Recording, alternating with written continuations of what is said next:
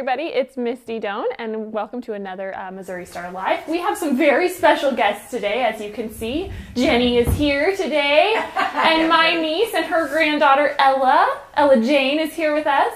And uh, we're so excited to have you here with us, Ella. Thanks for being here. No problem. no problem. She's a little shy, so so uh, we told her that everyone was so nice. So make sure you give Ella some love in the comments. We're excited to have her here with us today.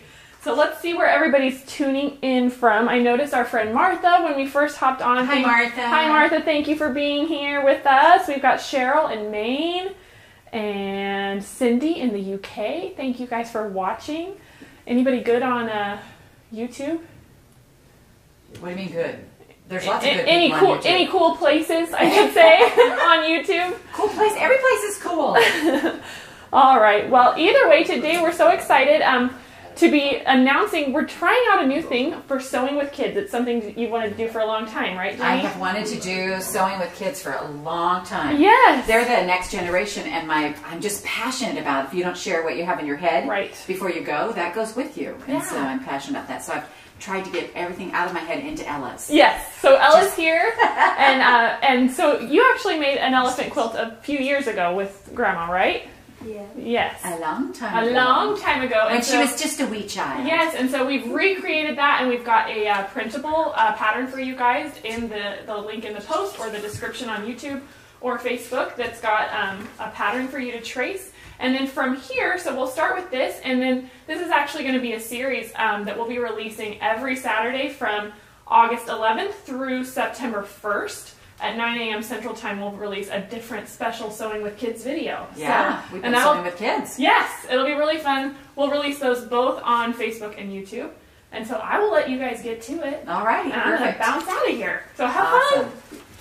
So the fun thing about this whole sewing with kids thing is honestly, um, uh, well, first of all, you get to sew with kids, and that's fun. They see things in a whole different light, and we've been working on some videos with some other of my grandchildren of things that they've wanted to make and try, and uh, and it's been really fun. I love it. I love it. I think that um, kids are a lot more freer or, or more free in their in the way they choose things and pick things. So I was telling Ella, I was reminding her that her about her first elephant quilt, and she corrected me and said that she actually made a quilt before that, and I, then I remembered. But um, it was a quilt for your teacher. Yeah. And and do you remember how old you were? I was like, Maybe I don't know. I was in first grade. Oh, first grade. You were teeny. Uh, and so she was in first grade and she wanted to make a quilt for her teacher and your, your mom was not very happy about that, was she? She wanted Ella to keep her first quilt, but she wanted to give it to her teacher. And so uh, that was really fun. So Ella loves elephants because her name is Ella.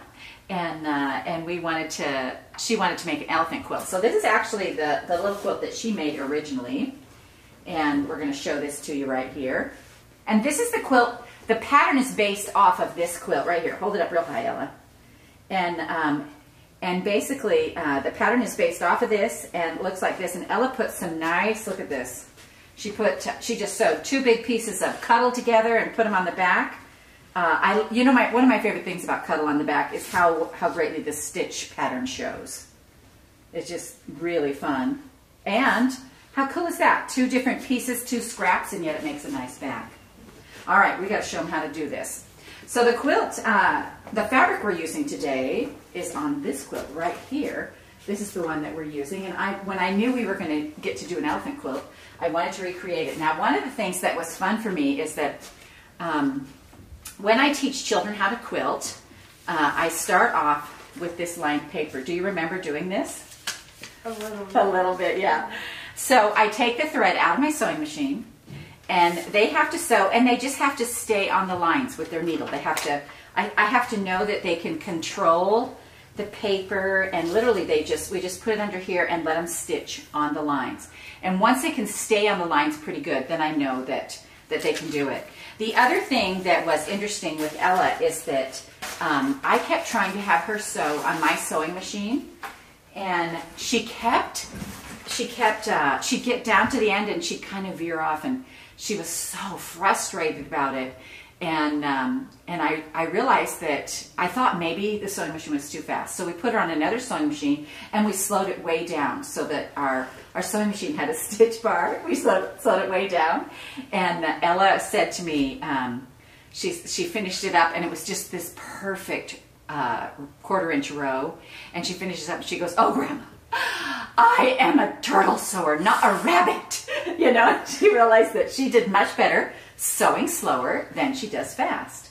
So um, any little quilt like this is so easy. So what I had Ella do is I had her go pick any layer cake that she wanted. And she chose a batik.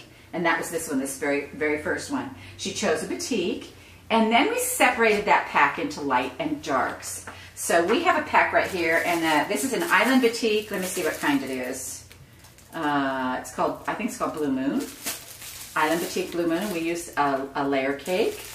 And this one isn't open. We also have this elephant applique right here.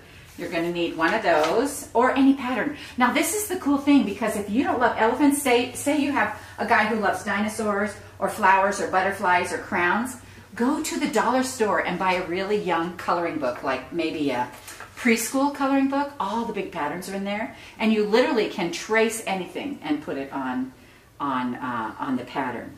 So then what we did was we took our our, our uh, layer cake, our 10 inch squares, and I let Ella sort them, darks and lights.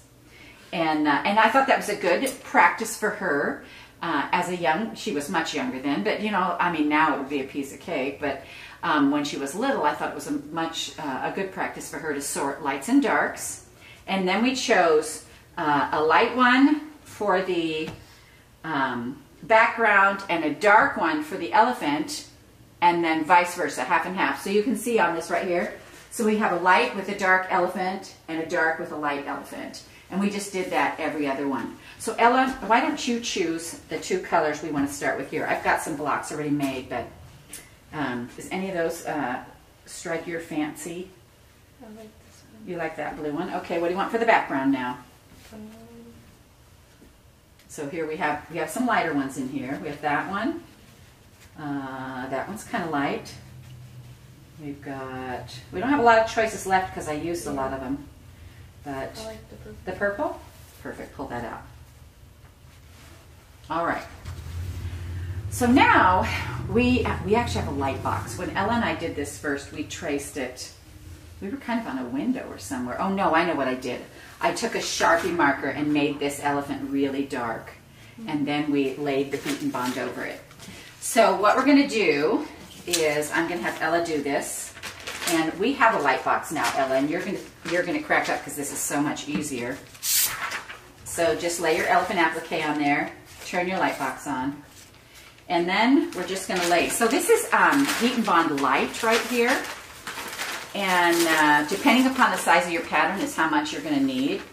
And it's called Heat and Bond Feather Light.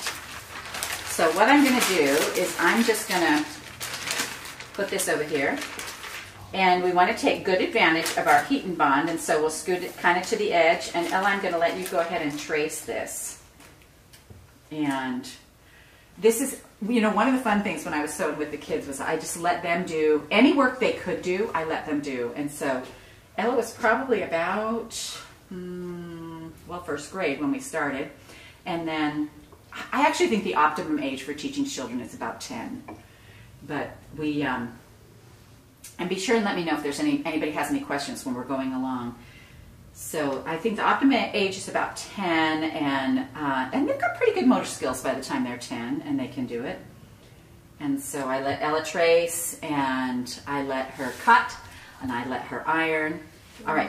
So so then what I did was I actually took my my paper and moved it down so we could trace another right next to it. So go ahead and trace again.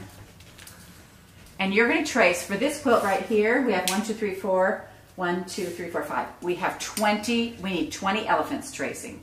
So, um, I'm sorry, 20 elephants traced.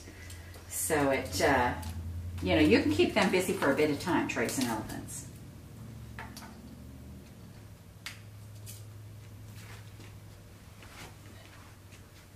Ella, now that you're older, is there something else you'd rather put on a quilt than an elephant?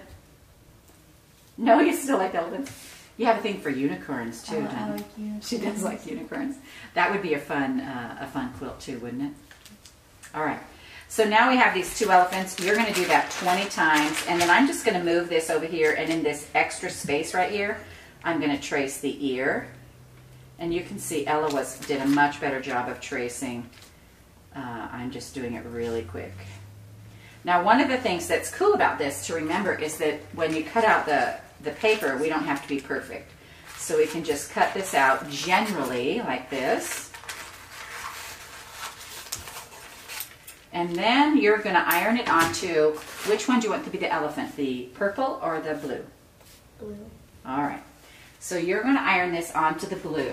Now what we want to talk about when we iron this is I'm going to trim off a little bit more down by his feet right here. And we're going to put him close to the bottom on here. And then you're just going to iron him on. So touch that iron and get it hot. Yeah, go ahead and bring it up here and just iron it. It's just about um, about five seconds uh, on it. We'll 1001, 1002, 1003, 1004, 1005. And it should stick pretty good. I'm actually going to look on here. Let's see exactly how long we're supposed to iron it. Because that will be helpful to people. Uh, circular motion for two seconds. Woo! okay, only two seconds. Whoops! Oh, wait, here. Down here it says. Oh, no, that's, that's a different language. Uh, if material, uh, uh, four to six seconds. All right. Four to six seconds. So we were good. Five was right in the middle of that. All right. And then I'm just going to roll this up and we'll move this out of the way so we can start. So on this, what I want you to do is now cut out that elephant. I'm going to set this back here. Hey, can you cut that out on that square in the middle? Yeah, can you lean over here so they can see it a little better?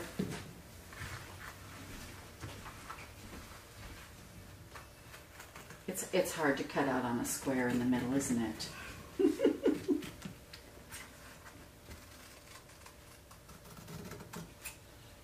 There we go. And what's fun about these big shapes is that, you know, they're pretty easy for uh, little hands. Now, how old are you now, Ella?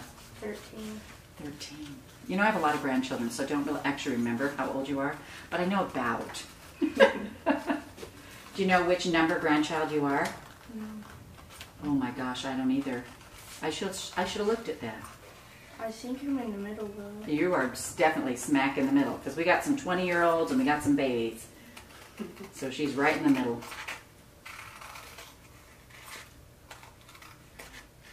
All right, now, when Ella was little, she would make some mistakes cutting.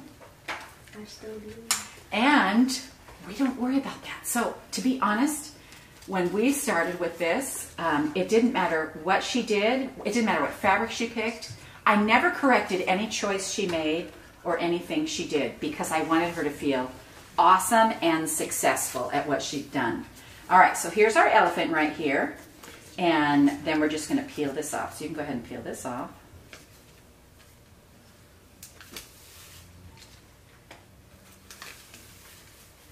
And then here's our background square. So we're going to put that right in the middle of the square.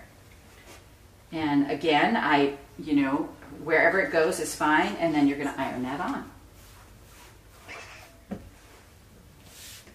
Now, on the quilt we first made for Ella, we have a nice big, you know, five and a half inch border.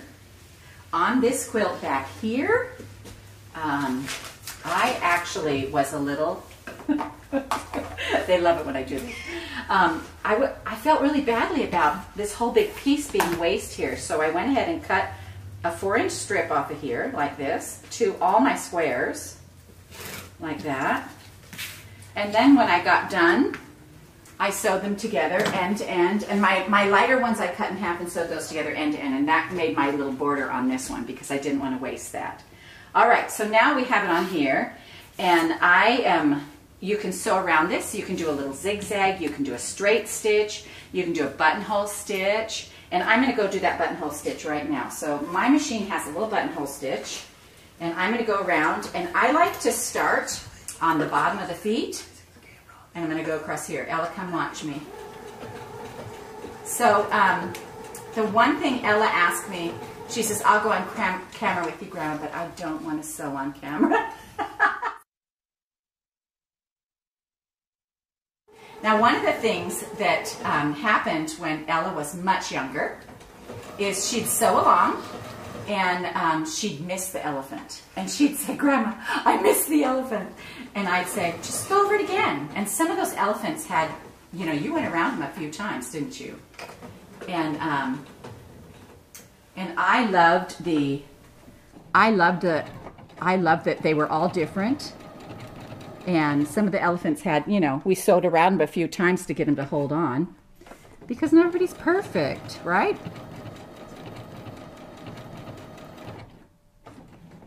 Gosh, you guys, you're awfully quiet out there. Do you have any questions? Oh, we got all kinds of questions. We just fixed the audio. We were trying to figure out what was going on. Oh, you, you messed up the audio? Just for a minute. So what questions do we have? Let's answer some questions. I feel like I'm doing a tutorial, not a Facebook Live. I want to answer some questions. Well, well, Smitten Kitten's back, so we gotta say hi to her. Smitten Kitten. She's back. She's been gone. We missed her for the last few weeks. We did miss her. Welcome back. This is on. Hope all is well with you, Smitten Kitten. That's a fun name, isn't it? Smitten Kitten.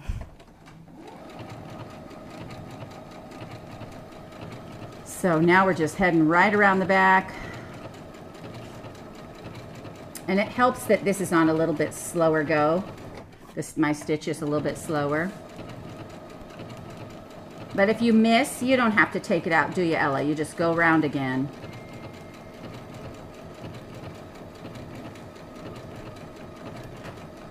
All right, we're back right down here to where we started.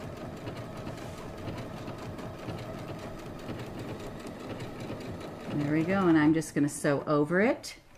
And then we're going to bring it out here. And we are going to clip this right here. Okay, So- we so got a question about the fusible. Look on here where you can um, you can see him. See, and I didn't even do a perfect job. I've got a little whoop in here and a little whoo whoo there, you know, but it just works and it goes and it all goes together. So when we put this together, let me show you these. All right, mom, we got some questions. We just sewed them together like this. We did a we oh wait, we did a dark background. Are you ignoring me? You I'm not ignoring Mother? you. No. I'm just getting ready to set this beautiful thing out here.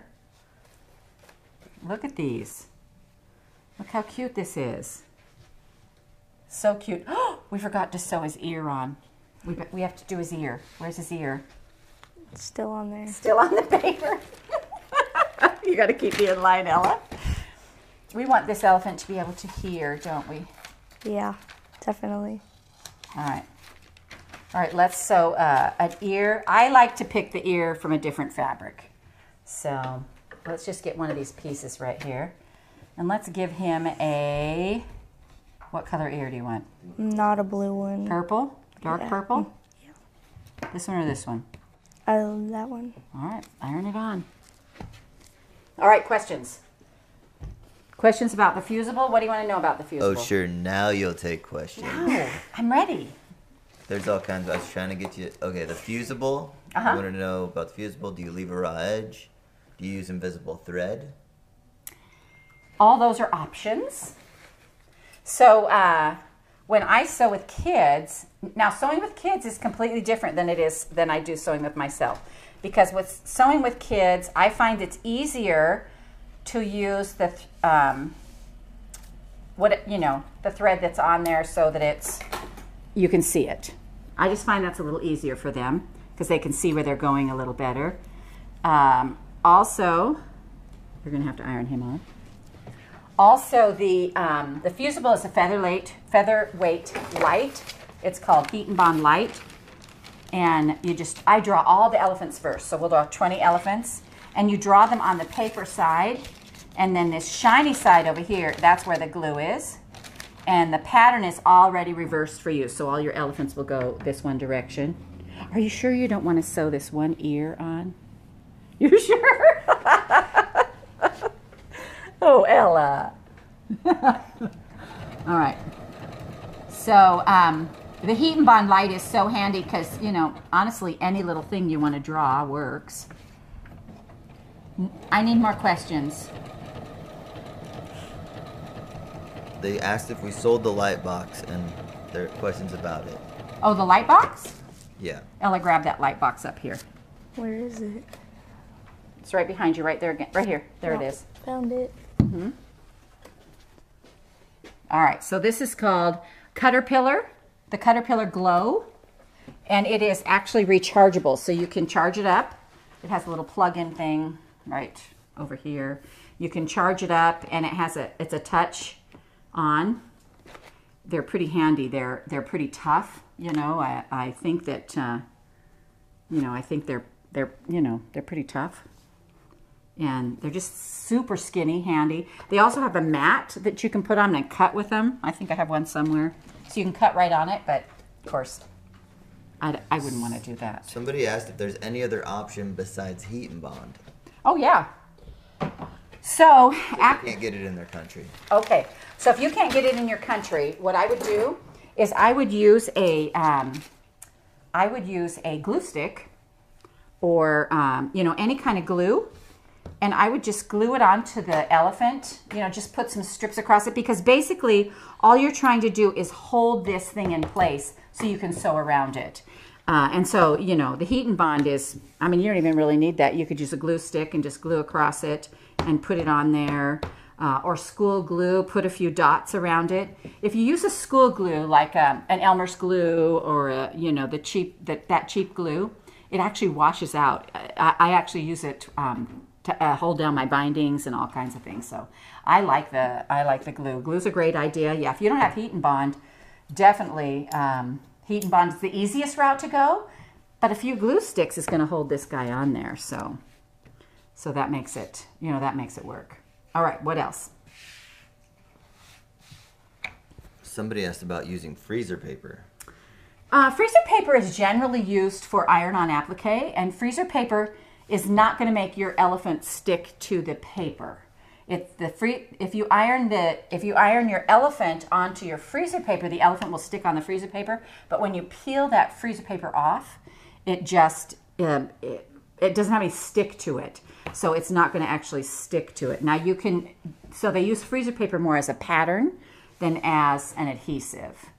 Um, and generally it's used for uh, needle turn, which these big shapes would be awesome for needle turn if you wanted to if you want to do that. So when I say needle turn, what I mean is this is a raw edge right here, and needle turn is when you actually just take and fold the very edge of what you're doing under, and then applique. I have a whole video on needle needle turn applique because when I broke my leg, I couldn't get away from my friends, and they taught me to needle turn.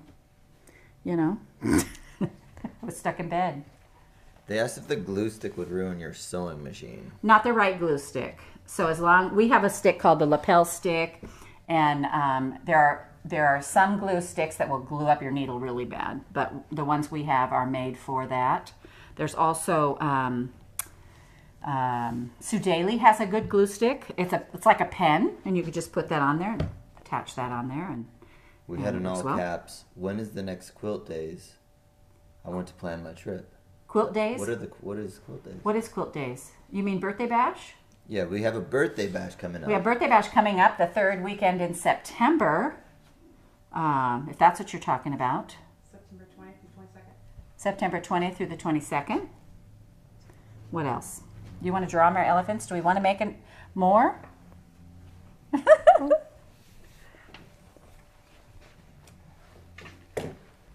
Also, they want to know about the new sewing machine, but I think we're forbidden to talk about it until wait one more week. one more week. Oh, one more week and we'll talk to you about these Eversewn sewing machines that are so nice. That she we can't also talk asked about. if the men in your family sew. Men Oh. in your life. So all the men in my family sew. My husband sews, my son sew. Jacob made his wife a queen-sized Dresden quilt for Christmas one year. I had to actually take pictures of him doing it because uh, he was sure she wouldn't believe, Misty wouldn't believe that he actually did that. And so, so uh, he's made a quilt. Al's made a quilt. You know, the interesting thing when Al made a quilt was um, he kind of wants everybody in the company to make a quilt. And when uh, and he decided he better start with that, and so he thought, I'm going to make a quilt, and this is going to be a piece of cake because I've been watching my mom do this for all my life. And uh, and he sat down. You know, he, he did the cutting, and that was way harder than he thought. He you know, picking out fabric way harder than he thought, putting it together way harder than he thought. But finally, he gets that thing all together and he's quilting it and he's on the quilt machine and he- he just stopped and he was just like, um, he was just like stunned. And he looked at me and he said, Mom, I've never put 20 hours of my life into anything I was willing to give away.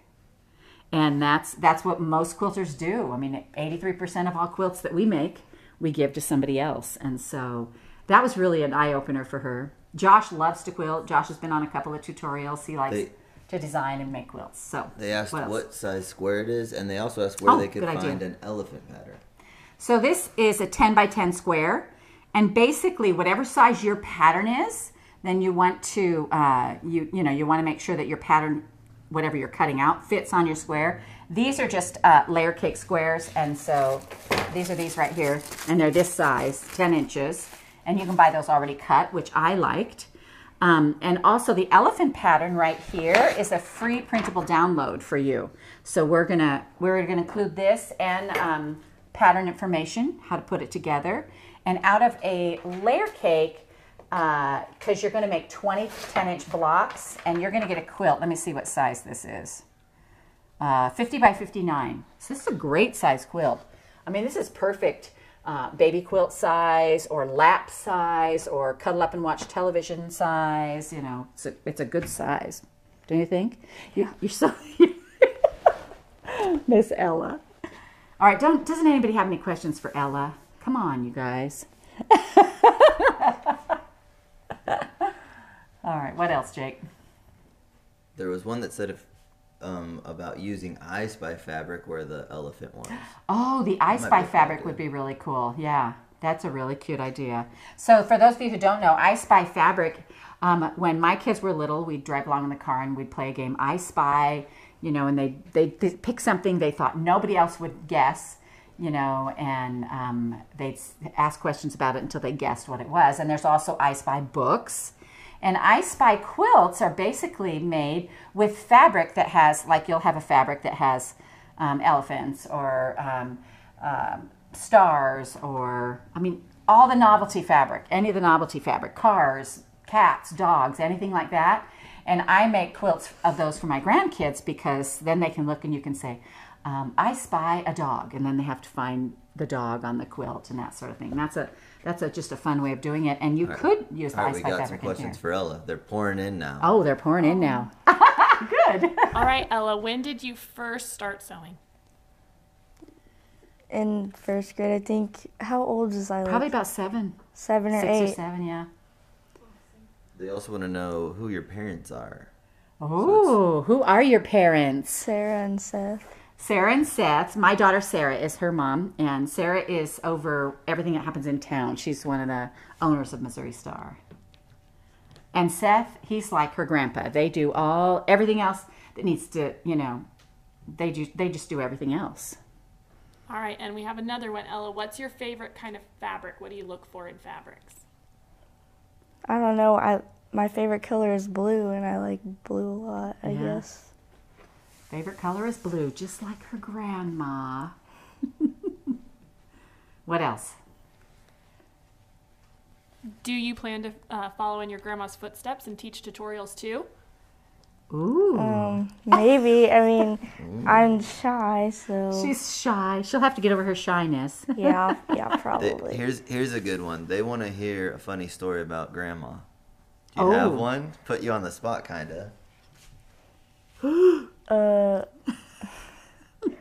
well, I don't know. I do. if- So one of the things I do with my grandkids is I send them funny jokes. Oh yeah, yeah. So like sometimes I wake up in the morning and get a text from grandma. It's just these funny jokes. They're they're very corny, Yeah. very funny. I always get back big smiley faces with exclamation points and hearts. They're pretty funny. Can we think All of right, one? What was one I? I can't. The only one I can think of is the toilet paper one, which I, it's just old. I haven't sent that to anybody in a long time. Well, I want to hear it. I haven't. I haven't heard Oh, that one. why did the toilet paper roll down the hill? Why? To get to the bottom. That one's funny. That's that a good that one's All right, I think That's we're a good. All right. So any more any more questions on uh, any of this that I can help you with? All right. Let me go over this little border one time. We put a little inch and a half border around our blocks right here. And then this little outer border. Now these instructions are not in your pattern because the pattern is based off of this one that has a nice big five and a half inch border. But I use the top scraps off my um, off my 10 inch square. I cut them up and I cut them into four inch strips and I left my dark ones whole and I cut my light ones right in half. And then I just sewed them together long, long, long and I put uh, on the sides and then across the top and the bottom. So I didn't even have to buy border fabric for this and it made a cute little quick quilt. So that's how I did this one. This one, if you do this one with a big border, you're just going to need about a yard, uh, um, a yard of border fabric for this one. Are my elephants going the right direction? They're up- they're upside down. upside down. And uh, so hold this out here, Ella. Hey, you guys, thanks for joining us today. Hope you've covered all that you need to know to make a quick and easy quilt. Don't forget to check out those easy patterns um, from a. You can get them from a coloring book, and there's And um, did we did we announce the what's happening with this at the beginning? Yes. So stay tuned. Okay, so Saturdays, so there's a there's a link in the um, there's a link in the description for the elephant quilt and pattern and print out if you want to make your own elephant quilt and just start watching because every Saturday from here on out I'm going to have a quilt where I make something fun with one of my grandkids and we did all kinds of projects. So every Saturday from here from for the next month we're going to release a video every month. So uh, let us every know. week. Every week. I mean, sorry, Next every month. week. We're going to release a video every week. And uh, and so let us know, you know, if you love these. Uh, especially see, have your kids watch them and your grandkids to see if it's something they really can do. Because if this is helpful, I'd love to do this. I think this would be really fun. All right, awesome. Thanks, so guys. anyway, for thanks for joining us today on Facebook Live. From me and Ella, we'll see you later.